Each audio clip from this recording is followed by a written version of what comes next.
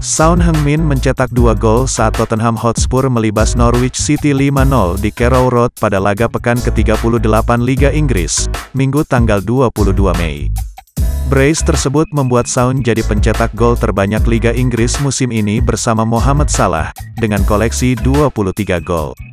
Bagi Son, torehan ini membuat dirinya mencatatkan rekor dan sejarah. Ia resmi dinobatkan sebagai pemain Asia pertama dalam sejarah Liga Inggris yang memenangkan gelar sepatu emas atau Golden Boot.